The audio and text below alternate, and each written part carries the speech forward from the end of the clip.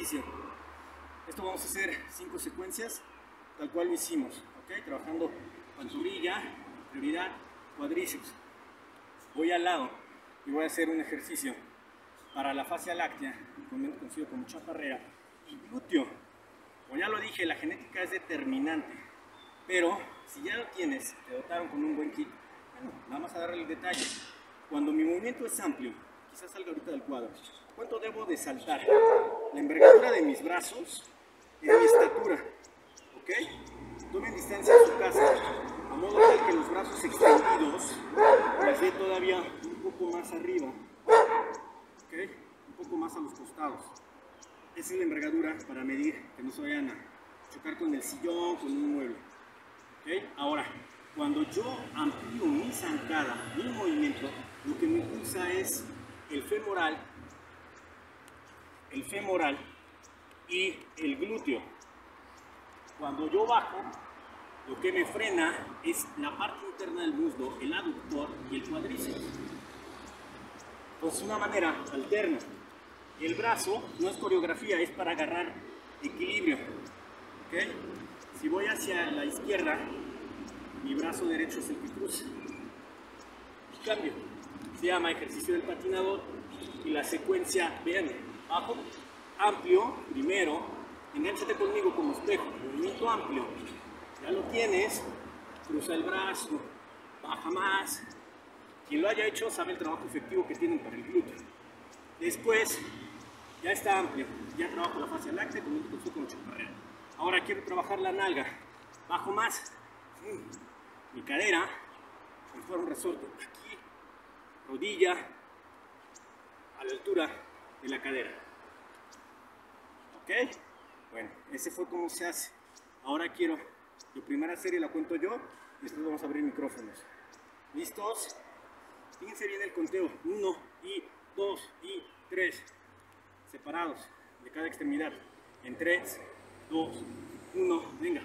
Uno y dos y tres y cuatro y cinco y seis y siete y ocho y nueve y diez y diez y nueve y ocho y siete y seis y cinco y cuatro y tres y dos y uno y bien. Inclusive puedes asistirte con los dedos tocando el piso.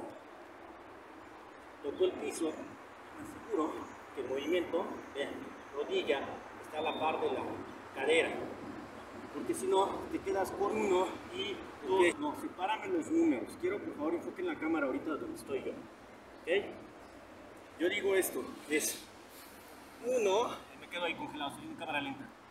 Y dos, y, ¿ok? Cada número está diferenciado. Esto si fuera un curso de RCP, es la diferencia en que pases, sepas dar el conteo bien de 15 segundos, si no, no lo pasas. Así de simple. Es mucho, muy importante, la única manera de homogenizar los tiempos. Si tú haces esto, uno y dos, lo que vas a hacer es que vas a saturar al ácido láctico, porque es muy rápido.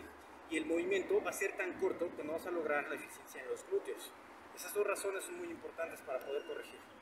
Entonces, recapitulemos. Es 1 y 2 y 3. Lo marco yo. Último ejercicio marcado yo los escucho a ustedes. ¿Listos? 3, 2, 1. Venga. 1 y 2. Sígueme. 3 y como espejo. Venme a la cámara soy tu sombra. 5 y 6 y 7. Ve mi cadera cómo baja hasta la altura de la rodilla.